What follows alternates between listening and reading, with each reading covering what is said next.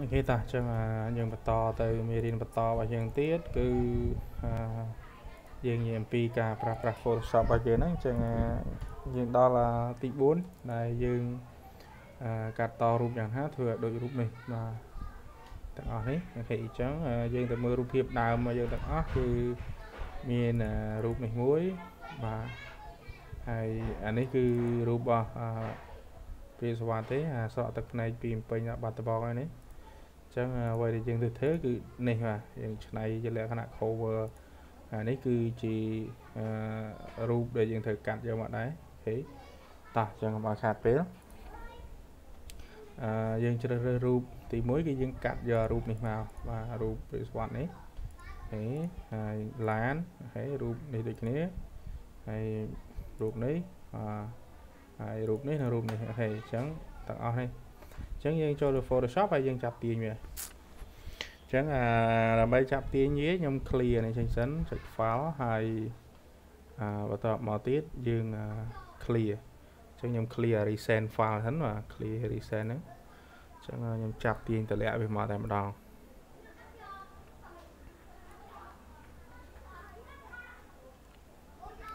ហេអញ្ចឹងបានហើយអញ្ចឹងបន្តមកទៀតយើងចាប់ផ្ដើមទៅធ្វើការ អឺយករូបភាពក៏ដូចជាកាត់តរូបនឹងទាំងអស់ហ្នឹងអញ្ចឹងដើម្បីឲ្យបានរូបនេះប៉ុណ្នេះដូចគ្នាយើងមកស្ដាំមកបាទទាញវាចេញសិនបាទទាញចេញសិនមកមកស្ដាំនៅ duplicate អូខេយកប៉ុណ្ណឹងដូចគ្នាហើយ control A មកបាទហើយយើងដក tick នេះចេញមកបាទដក lock delete OK អញ្ចឹង OK បានហើយយើងចាប់ទាញអានេះចូលទៅកន្លែងដើមវាវិញហើយយើងមកឃើញមាន background នេះមួយ ចឹងដើម្បីបាន background នេះយើងចាក់ពណ៌មួយសិនមកបាទជ្រើសរើសពណ៌បាទចាក់យកច្រឡងពណ៌ពីនេះមកបាទហើយយើងចូលមកលេខ4មកយើងយើង alt backspace មកចាក់ពណ៌ដូចនេះ OK តមកទៀតយើងកាត់រូបមនុស្ស3នាក់ OK យើងស្វែងរករូបមនុស្ស3នាក់មកOK រូបនេះចឹងយើងប្រើ ellipse យកតែម្ដង OK បាទអញ្ចឹងយើងមើលរូបដើមអញ្ចឹងគឺរៀងព្រាលបាទអត់ស្មើទេអញ្ចឹងយើងចូលមករូបរូបហ្នឹងយើងយក feather វា50មក OK ខ្ញុំប្រើ move tool យើងចាប់ទាញទៅលេខ4 copy OKបាទហើយ OK អញ្ចឹងយើងចង់ឲ្យកន្លែងនេះវាបាត់កែមអត់អីយើងអាច delete វាទីទៅបាទឬក៏យើងប្រើ feature យើងហ្នឹង OK អត់ប៉ុណ្្នឹងចាអា feature អូខេហើយយើង shift i មក delete វាអាអានោះ delete ខាងក្នុងហើយហើយយើង control shift i delete ខាងក្រៅអូខេណៃហើយហើយតមកទៀតយើងបរួមមួយតិចមកអូខេឧទាហរណ៍ប៉ុណ្ណឹង ចឹងយើងទៅបន្តរូបនេះហើយមួយហើយអញ្ចឹងយើងបិទវាបិទមួយទៅអញ្ចឹងយើងនៅរូបអីទៀតគឺនៅរូបឡានហើយនឹងព្រាកស្វាត់អូខេអញ្ចឹងរូបឡាននេះមួយគឺរៀងប្រផាតិចរូបឡានអញ្ចឹងយើងកាត់មកហាហើយរូបឡាននេះគឺបើយើងកាត់ធម្មតារៀងយូរតិចអញ្ចឹងខ្ញុំកាត់អាហាបាទអញ្ចឹងកាត់មិនបានស្អាតទេណាវីដេអូហ្នឹងអញ្ចឹងអឺគ្នាយើងធ្វើម៉េចកាត់វាស្អាតបាទ ខេអញ្ចឹងខ្ញុំកាត់លឿនលឿនអូខេបាទខ្ញុំប្រើ pen tool ណាបាទអូខេ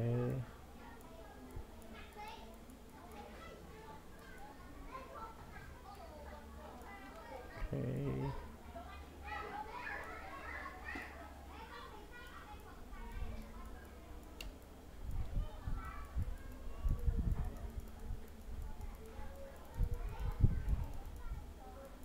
ខេឧទាហរណ៍ប៉ុណ្ណឹងចា control enter load select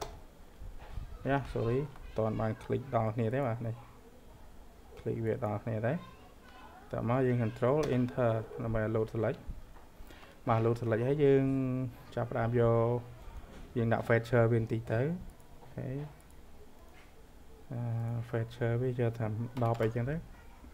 ដើម្បីកុំឲ្យវាឃើញស្នាមកត្រៃអញ្ចឹងប្រើ move tool ស V ចាប់ទាញមកទៀតអូខេ ចឹងនេះបាទអញ្ចឹងបាទនេះមកហើយអញ្ចឹងយើងនៅអីទៀតហើយយើងនៅ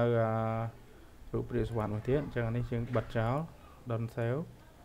បាទរូបរាងសវត្ថនេះអញ្ចឹងរូបនេះយើងប្រើ tool អីក៏បានដែរបាទគិតថាលឿនអញ្ចឹងខ្ញុំប្រើ tool នេះចុះ quick magic នេះអស់លើរូបយកតែម្ដង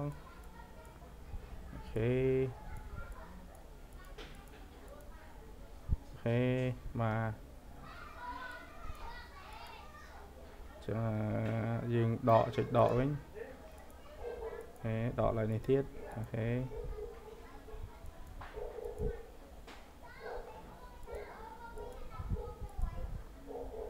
ខេចុចបូកឡើងនេះវិញបាទបើលើសឲ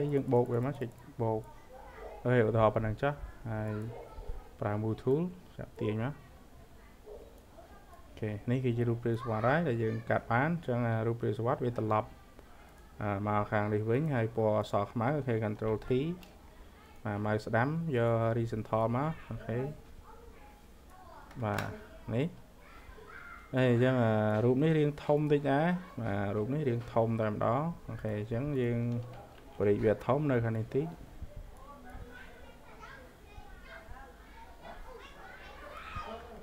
ខេរូបឡានអីដូចគ្នាដែរបាទអឺឧទាហរណ៍ប៉ុណ្ណឹងចុះអូខេអឺបន្តមកទៀតគឺ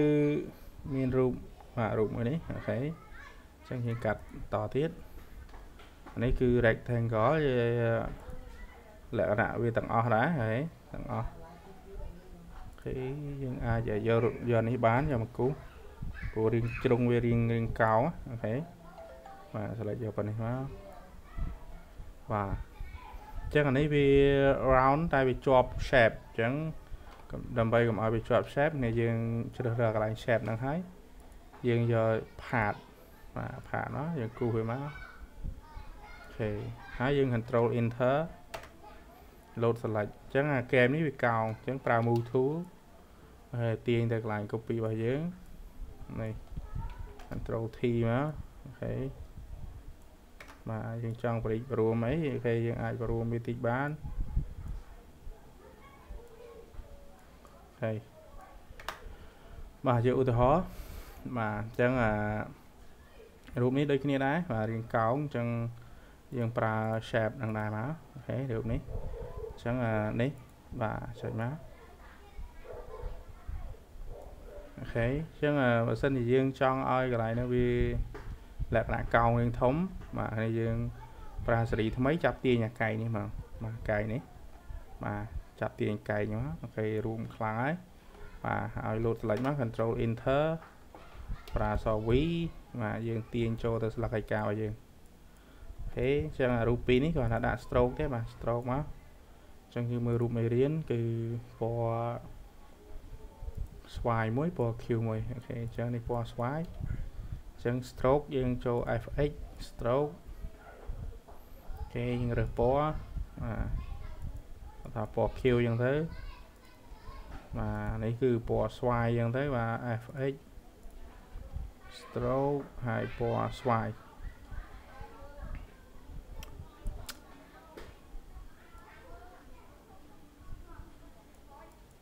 ពណ៌ខំអញ្ចឹងណាអូខេហើយបានណានេះប្រូបន្តិចមក បាទអញ្ចឹងជាឧទាហរណ៍អញ្ចឹងធ្វើលឿនលឿនណាហើយតមកទៀតអាយើងទាញរូបនៅស័យនេះម្ដងបាទនេះយើងចប់ហើយយើងបិទវាអឺនេះរៀងកាត់ដែររូបនេះអូខេអញ្ចឹងយើងប្រើខ្ញុំប្រើ tool នេះចា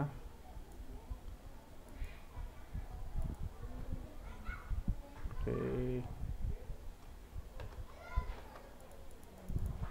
ចា sorry ចុចវាញាប់ពេកគឺដល់ល្មមណា reload select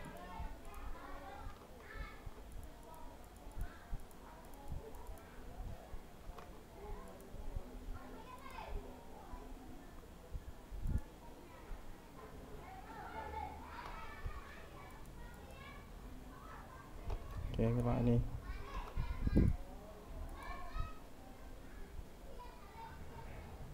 អូខេ បាទដល់ហើយ double click ពីរដងយើងដល់ហើយហើយប្រើ move tool យើងបាទចូលមកកន្លែងហ្នឹងវិញអូខេចឹងនេះយើងដាច់កែមកែមនេះបន្តិចចឹងបើយល់ល្អកន្លែងហ្នឹងគឺយើងធ្វើចេះមកអាយ៉ា sorry យល់ល្អកន្លែងហ្នឹងយើងយើងប្រើហើយខ្ញុំលុបចេញសិនអានេះខ្ញុំលុបចេញសិនដែរអឺខ្ញុំប្រើ feather មកបាទរើសកន្លែងនេះធ្វើមក feather ដាក់វា10 OK ហើយ move tool ចាប់ទាញម្ដងទៀត OK ចឹងរៀងក្រាន់បាទមើលទៅរៀងស្អាតហើយអត់ឃើញស្នាមកត្រៃអីទេណាវារៀងមកល្មមហើយ OKអឺបានប៉ុណ្នេះហើយយើងឃើញរូបឡានបាទរីព្រីលជាប់ background នឹងតែម្ដងអញ្ចឹងឡាននេះគឺយើង select លើវាមកអូខេប៉ុណ្នេះបាទនេះយើងបាំងហ៎ បាំងវាមកនេះយកឡើងទៅលើអូខេឧទាហរណ៍ប៉ុណ្្នឹងចា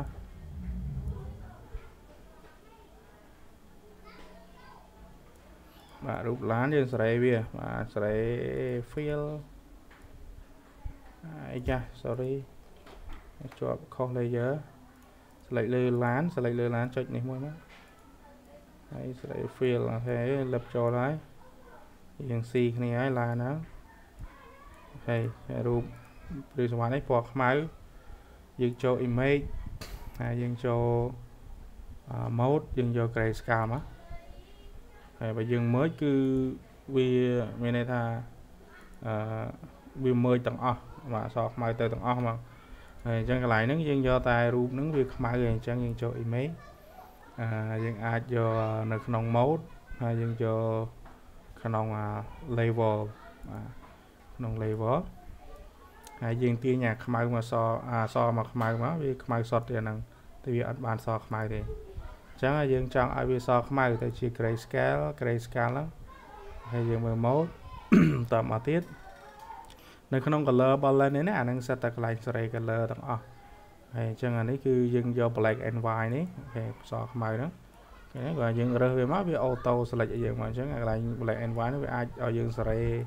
រៀងសរៀងកម្ៅជាងហ្នឹងតែយើងប៉ុណ្្នឹងចាស់បាទអូខេទៅហេឧទាហរណ៍ថាយើងបានប៉ុណ្ណឹងបាទយើងធ្វើប៉ុណ្ណឹងចាស់អាយើងនៅអារូបនេះម្ដងបាទរូបនេះហើយនឹងអសអញ្ចឹងយើងមើលឆ្នោត1 2ឆ្នោតបាទហើយនឹង3ឆ្នោតហើយអញ្ចឹងខ្ញុំយក rectangle មកបាទយកមកគូសវាអាវាយនេះមួយ sorry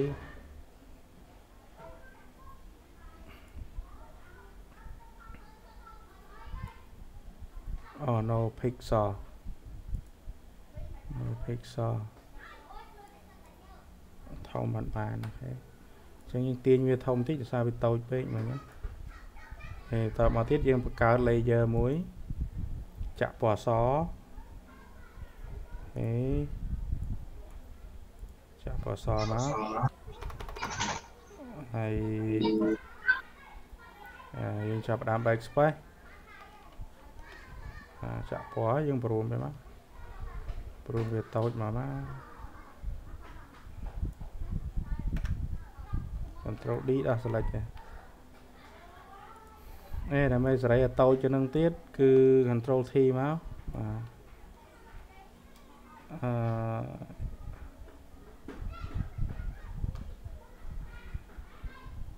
ចុច shift មកបាទសេរីថ្មីចុច shift វាទៅអញ្ចឹ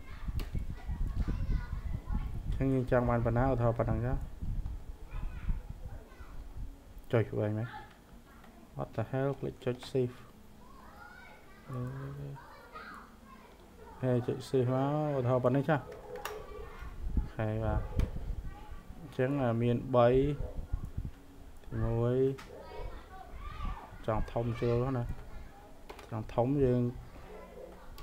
ដាក់វាតូចយ៉ាងហ្នឹងទៀត control T មកអឺអូខេចុច save តែថាប៉ុណ្ណឹងចាតែប៉ុណ្ណឹងហើយអូខេហើយចឹងយើងទាញមកឲ្យបាន3មកបាទ1 2 3នៅខំហើយចឹងហ្នឹងអត់ឲ្យលើពេកទេត្រឹមនេះទេអូខេ1 2ហើយ3ត្រឹមនេះចាហហើយហើយអា3ហ្នឹងអាកន្លងនេះវាត្រឹមនេះអានេះវែងជាងគេអាទី2 អាទី2វែងជាងគេអញ្ចឹងអាអាទី1ហើយនឹងអាទី2នេះបាទគៀកគ្នាហើយ control T មកហើយអឺវិញយកបាត់នេះចុះហើយបាទចិត្តដូចណាហើយនៅមួយតង់ទៀតអាមួយនេះអារូបនេះចុចវា lock មកស្រួលយើងអោសលឿនចុច lock អូខេអញ្ចឹងអោសនេះចា រូបនេះអត់ទាន់ lock ខាង lock មកទៀតមកOK អានេះ control T មកទៀតចុចអា shift មកអឺបាក់ចុច shift ទេចុច shift វាអត់នេះទេ OK បាត់នេះហា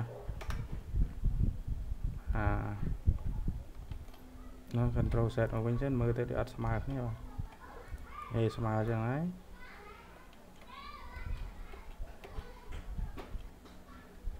អីទៅណាអស់ អត់ជាប់ lock អូខេអញ្ចឹងអឺទី2វែងជាង control T មកជាប់អានេះទៀតនេះអានេះដាក់ lock វាមកទៀត OK អញ្ចឹងអានេះ control T មក OK យកវាយហ្នឹង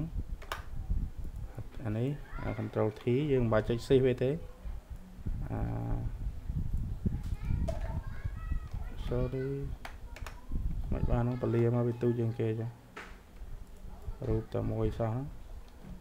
control T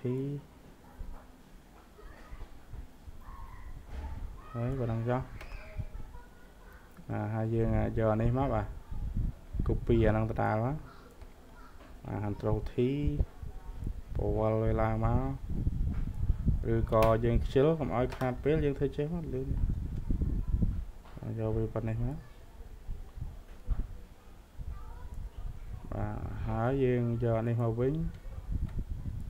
យើង space រំកិលឡើងលើប៉ុណ្ណេះមក delete វាទៅអូខេអឺ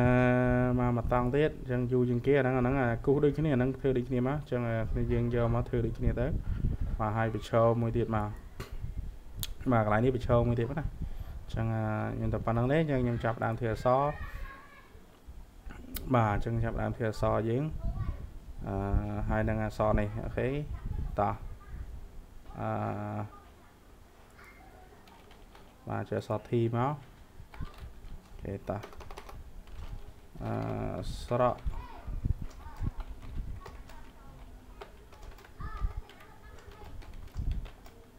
បាទអញ្ចឹងព្រោះនេះវា រកទៅផ្នែកពីភ្នំពេញបាទ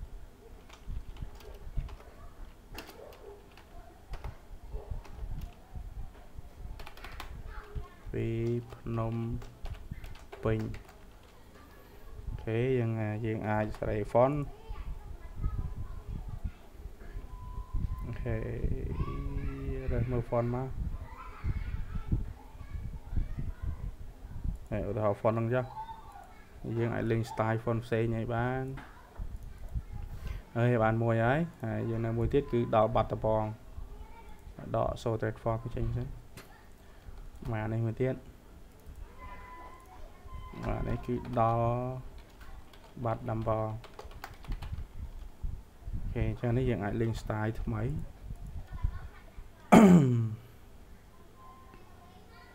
អូខេឧទាហរណ៍អញ្ចឹងចុះអឺ មួយទៀតគឺស្អប់ប្រុសសក់ highlight អញ្ចឹងស្អប់ប្រុសហ្នឹងគឺ font ផ្សេងទៀតអូខេ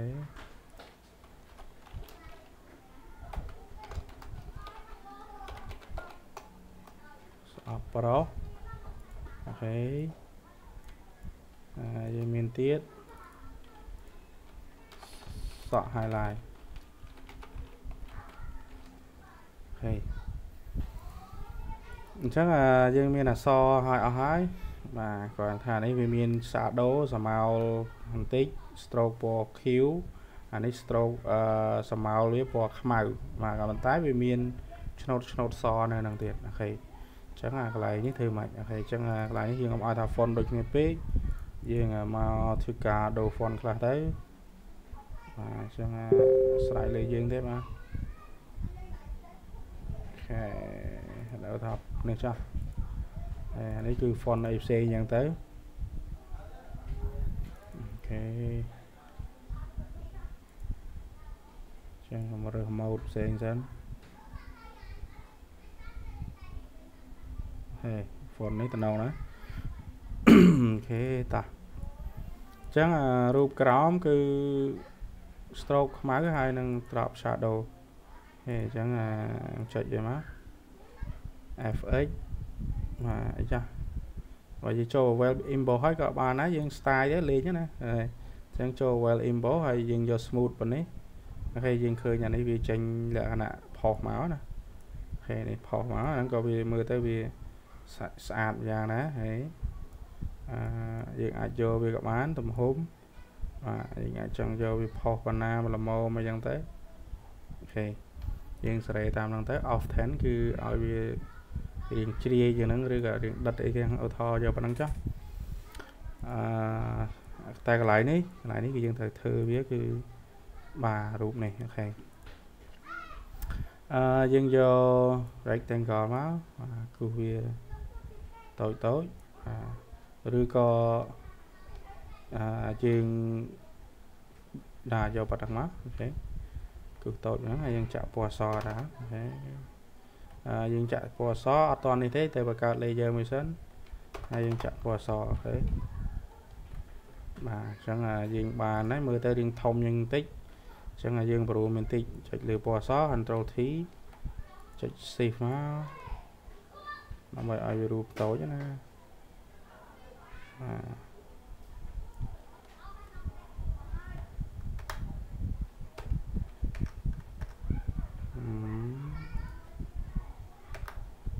ខេរៀងទូចហើយចឹងយើងប្រូមេតិចទៅ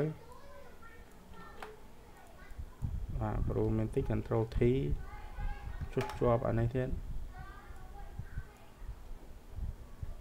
រូបនេះក៏ lock ដែរណាចឹងចុចរូបនេះសិន lock វាអស់កុំឲ្យវារត់អូខេ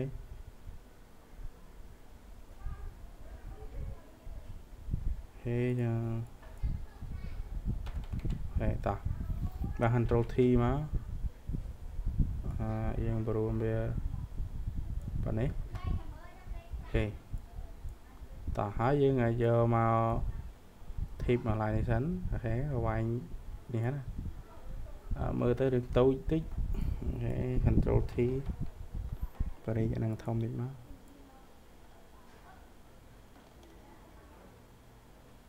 ហេឧទាហរណ៍ប៉ុណ្្នឹងចាបាទ ចឹងអារូបហ្នឹងនៅក្រោយច្រឡំតែចុច show transform របស់គេមាន4អញ្ចឹងយើងដាក់4បន្ទាត់ដែរអា2 3អញ្ចឹងអា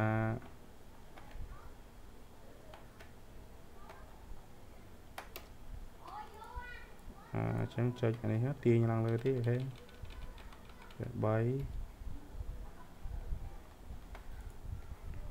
បាទ4ទាញមក OK OK បានប៉ុណ្នេះហើយយើង select 4ហ្នឹងបាទមានន័យថា layer ដែលយើងមានហ្នឹងអាសសនេះបាទសស4ថែមជាមួយនឹងតិចនេះមួយទៀត OK អញ្ចឹងយើង merge វាបាទ merge layer បានធ្វើបាន OK អញ្ចឹងមុននឹងយើង merge layer ហ្នឹងគឺមានថាយើងត្រូវ rasterize type សិន rasterize ពីតិចទៅជា layer អញ្ចឹងយើងឃើញថារូបតិចនេះវានៅអក្សរនៅឡើយទេបើសិនទៅចេញពណ៌ចេះបានជាវា layer អញ្ចឹង select លើវាមកស្ដាមមកយើងយកពាក្យថា rasterize Thai ហើយចាំយើង select វាទាំង4ហ្នឹងមកអូខេបាទនេះគឺស្អប់ប្រុសនឹងឯងយ៉ា sorry select វាប៉ុណ្ណឹងមកហើយយើងចុច shift មកចុចលើស្អប់ប្រុសហ្នឹងមួយទៀតចុះមិន load មកអញ្ចឹង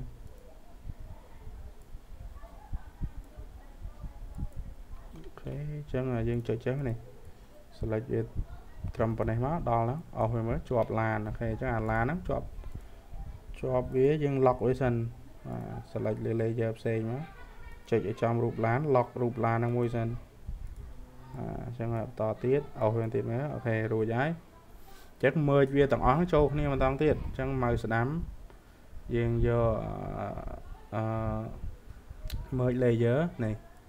មើលចូលគ្នាអញ្ចឹងតែកាលណាមើល layer ទាំងអស់លែងចូលណាលែងជាប់គ្នាហើយអញ្ចឹង control T យើងត្រូវបដេកវាចេះសិនហើយចុច shift មកគឺវាបដិស្មើហើយអូខេ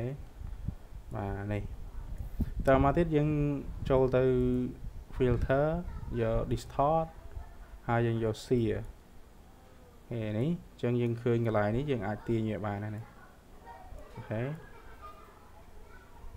ខេអញ្ចឹងវាកោហើយយើងឃើញកន្លែងនេះវា review ឲ្យយើងនេះហេបាទបានហើយយើង click OK បើសិនជាចុចទៅកងេងកងងអីច្រើនជាងហ្នឹងកន្លែងហ្នឹងវាអត់មាន default ទេអញ្ចឹងហើយយើងចុច alt ឲ្យជាប់ហើយយើងយកមក click កន្លែង reset ហ្នឹងតែម្ដងទៅវាធម្មតាវិញហើយណាចឹងអាហ្នឹងសម្រាប់ស៊េរីថ្មីបើស៊េរីចាស់ចាប់ពី CA4 មកកន្លែងហ្នឹងវាមាន default អូខេ ចឹងយើងคลิกមកអូខេយើងបានហើយយើងពលាមកវិញ control T ហើយយើងទាញវាមកវិញមកអូខេអញ្ចឹងអាស្រ័យលើយើងនេះកន្លែងហ្នឹងណាអញ្ចឹងនេះបាទអញ្ចឹងនេះយើងចង់លេង style លេងអីអូខេចង់បានរៀងផុសរៀងអីសមោលអីចឹងទៅយើងចូល FX យើងត្រាប់សាដូតិចទៅណាយើងអាចទាញឲ្យកោងលើហ្នឹងក៏បានដែរណាអញ្ចឹងខ្ញុំអាច control set មកវិញអូខេ បាទអញ្ចឹងយើងអាចឲ្យកោងយ៉ាងហ្នឹងក៏បានដែរចូល filter distort ហើយបើយើងយកអា wave នេះលក្ខណៈទឹកអាឡុកនេះទឹកអាឡុកអញ្ចឹងវាឥឡូវខ្ញុំមើលខ្ញុំចាក់ពណ៌ឲ្យ load select មកខ្ញុំចាក់ពណ៌នេះចុះហេស៊ូមើលអូខេ filter ចូល distort ហើយយើងចូល sear អូខេអញ្ចឹងវាតូចឯងមើលទៅវារៀងតូចណាអញ្ចឹងចុច alt reset វា alt យើងចុច reset វាទៅអូខេអញ្ចឹងនេះគឺកន្លែងសេរីខ្ញុំ reset អត់ទៅចឹងអាសារថ្មីមកអូខេ select លើវា distort C វាអត់ឲ្យទៅស្រីវាម្ដងហើយគេទាញវាឡើងលើណាណីមើលអូខេ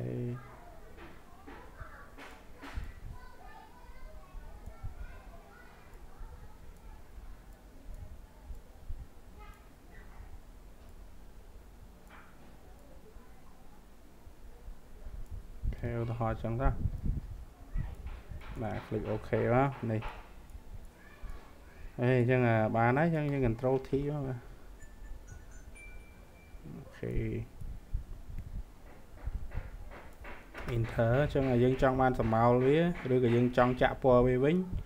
គឺយើងចុច control ឲ្យជាប់ click វាចំនឹងមកហើយយើងធ្វើការចាក់ពណ៌បាទបានហើយចឹងចង់បានសម្ោលចូល FX យកចូលទៅ drop shadow ហើយយើងជ្រើសរើសស្មោលនេះស្មោលវាបាទយើងចង់ដឹងយើងយក normal សិនមកវាឃើញវាហើយយើងអាចសេរីសាយហើយនឹង split នេះបានអូខេនេះគឺស្មោលវាបាទហើយយើងចង់បាន distance ចម្ងាយអីនេះអាចអូខេយើងរើសតាមហ្នឹងហើយយើងចង់យករីមកល្មមបាទយក dark can អញ្ចឹងទៅអូខេអញ្ចឹងស្មោលយើងលេងខ្លាំងពេកមកល្មមបានហើយ អូខេអញ្ចឹងនេះអឺដល់ពេលអានេះយើងអត់ធ្វើដូចគេទេបាទយើងយើងប្រើ Bowel Impose បាទអញ្ចឹងយើងក៏អាច Bowel Impose ហ្នឹងយើងលេងមកល្មមក៏បានដែរកុំឲ្យវាខ្លាំងពេកដើម្បីយើងកុំឲ្យគេដឹងណាអញ្ចឹងយើងយើងសេរីសាយមកល្មមអឺហេថា5ចុះ គេប៉ុណ្្នឹងចុះហើយយើងយកប្រភេទ smooth ចឹងហើយ soften នេះយើងមិនបាច់សេរីក៏បានដែរយើងបើយើងចង់ឲ្យព្រាលវាក៏បានយើងចង់ឲ្យវាហាប់នៅហ្នឹងក៏បានដែរហើយចឹងឧទាហរណ៍តែប៉ុណ្្នឹងចាហើយកន្លែងនេះវិញអត់មានអីទេគាត់នៅសមោលណាសមោលទេហើយនឹងអាភ្នំពេញហ្នឹងវាស្ដួចទៅមុខអូខេអញ្ចឹងទី1យើងដាក់សមោលទៅទៅ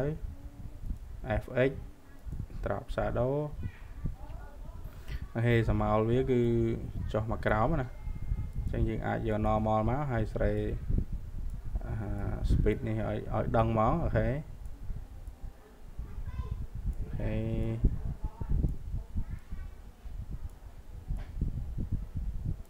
ហេចឹងនេះ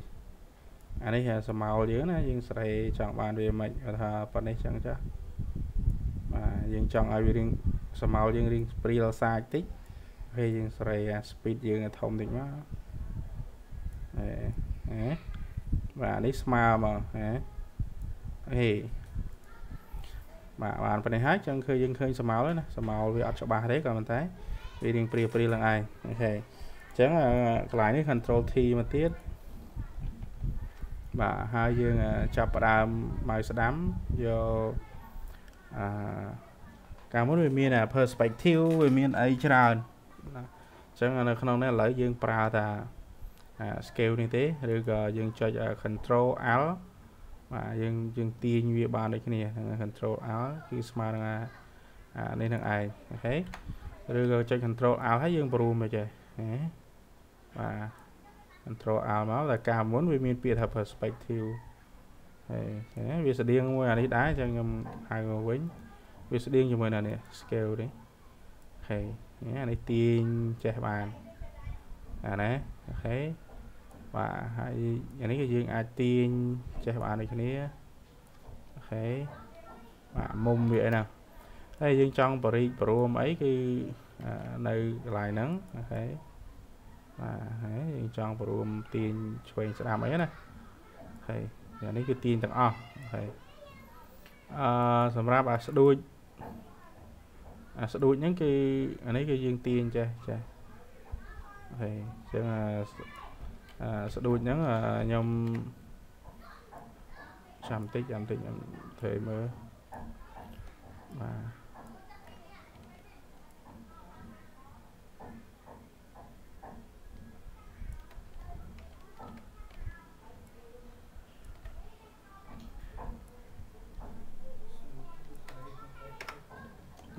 ដូចហ្នឹងវា perspective ខ្ញុំខ្ញុំអត់ដឹងថាអីដែរចាខ្ញុំ search glue glow សិនបាទបាទអញ្ចឹង perspective perspective in photoshop cc អូខេ ចឹង perspective គឺវា fix problem ហ្នឹងគឺវាមានបញ្ហាអីណាទេអូវាឲ្យចូល edit ហើយចូល perspective wrap ចឹងចូលទៅ edit តាមវាអឺយើង select លើវាមកបាទហើយចូលទៅ edit យើងរកពាក្យថា perspective wrap នេះអូខេបាទ ហើយវាឲ្យយើង rasterize ទៅជា layer មានថាផ្ដាច់វាណាហើយអញ្ចឹងយើងផ្ដាច់ទៅ layer ហ្នឹងហើយអញ្ចឹងនេះគឺ perspective គេហ្នឹងឯងដែលគេចង់ឲ្យយើងប្រើតាក់ទងនឹង wrap ហ្នឹងអូខេនេះអូខេអញ្ចឹងគេចង់ឲ្យបានបែបម៉េចនេះអឺអូខេនេះនេះនេះរបស់គេ step ទី2គឺ move wrap ចូលទៅក្នុង manipulate អឺអូ move wrap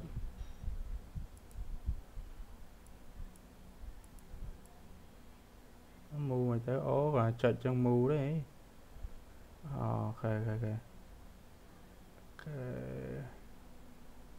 នេះនេះនេះ OK វាអញ្ចឹងវាឲ្យយើងអស់ហើយ វាឲ្យយើង move warp move warp ហ្នឹងចុចអាកន្លែងកលនេះណានេះយើង OK អញ្ចឹងខ្ញុំសារថ្មីឲ្យសារថ្មី control z OK ចុច move tool សិនដល់ apply អើនេះយើងចូលមកកន្លែង edit ហើយយក perspective wrap ហើយនេះយើងអស់វាមកឲ្យបានវែងនេះមកស្រួលយើងមើលអូខេតបមកជំហានទី2គេឲ្យយើងប្រើកន្លែងនេះណាអញ្ចឹងកាលណាយើងប្រើ កន្លែងហ្នឹងមកព្រមវាអីនេះអាយទៅអូខេអញ្ចឹងវាឲ្យយើង move អា wrap នេះ click លើនេះយ៉ាក្រុមឆាត click លើអាអា finish របស់យើងហ្នឹងគឺ create shape របស់យើងហ្នឹងយើងបិទវាមកអូខេអញ្ចឹងនេះគឺអូខេដល់ប៉ុណ្ណឹងចាអានេះដាក់ឲ្យធំអញ្ចឹងចាអូខេបាទអញ្ចឹងនេះ ហើយបានហើយគឺយើងគាត់ថាអឺ move វាទៅបាទគ្រីស move វាទៅបាទអាយ៉ាមិនបាន move អត់ទៅចឹង control set អូវិញហើយ zoom ទៅគេសារថ្មីតាចឹងមកវាយ៉ាងម៉េចវិញ ឬក៏ពេលយើងអត់តន់ rasterize cookie wrap អញ្ចឹងយើងប្រើ wrap នេះមកតែមើលប្រើ wrap មកវាឲ្យអត់អូយកំពុង loading ហ្នឹងអត់កាំងកដោកចឹងអូខេអញ្ចឹងយើងផ្ដាច់វាទៅជានេះសិនមិញយើងអត់តន់ផ្ដាច់អឺម៉ៅស្ដាំ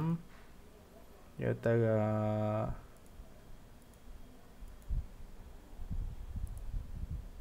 ខ្ញុំចង់កៀងចុចអត់ព្រម select នេះគេមកស្ដាំមកតើមកយើង rest rasterize ថាយបាទមានន័យថាផ្ដាច់វាបាទបាទទៅជា layer ហើយកន្លែងហ្នឹងអញ្ចឹងតាអូខេអញ្ចឹងយើងសាក control T មើលវាមានដូចសេរីចាស់អត់អូខេអញ្ចឹងដូចសេរីចាស់ដូចគ្នាដែរនេះយើងមើលកន្លែងនេះ ដោយសារមុនយើងយើងចូលទៅក្នុង edit ហើយយើងយក perspective wrap ហ្នឹងមិញតែឥឡូវដល់ពេលយើង rasterize វាហើយយើងឃើញកន្លែងនេះមក mouse ស្ដាំមកយើងយក perspective អូខេហើយយើងយើងចាប់ទាញវាយកមកទៅ OK នេះហើយយើងអាចបរូមវាបានមក OK បាទទាញវាមកលអីឡើងលើអីចេះមកបានមកបាទអញ្ចឹងដោយសារតែមុនហ្នឹងគឺយើងអត់បាន rasterize layer វា OK អញ្ចឹងនេះ បាទអញ្ចឹងអសចាប់ពីនេះទៅដល់នេះអូខេហើយនេះគឺអឺយើងនៅពេលដែលយើង rasterize វាហើយអានេះយើងអាចដូរពណ៌អីចឹងទៅណាដាក់អឺពណ៌ហមទៅ stroke វាអូខេហេបាទអេអញ្ចឹងមេរៀនហ្នឹងគឺកន្លែងនេះយើងចង់ time stroke អីទៀត time ទៅបាទអញ្ចឹងឧទាហរណ៍ថា stroke ចុះ បាទអញ្ចឹង stroke ពណ៌អឺរៀងក្រហមមកល្មមអញ្ចឹងទៅ OK ហើយចង់បាន stroke នឹងពលឺមកល្មមអីយើងបាទសេរីយើងមកល្មមណាស់ទៅ OK ពណ៌ slide slide អីចឹងទៅ OK អញ្ចឹងនេះគឺមេរៀនទី4របស់យើង គឺយើងបញ្ចប់ប៉ុណ្ណឹង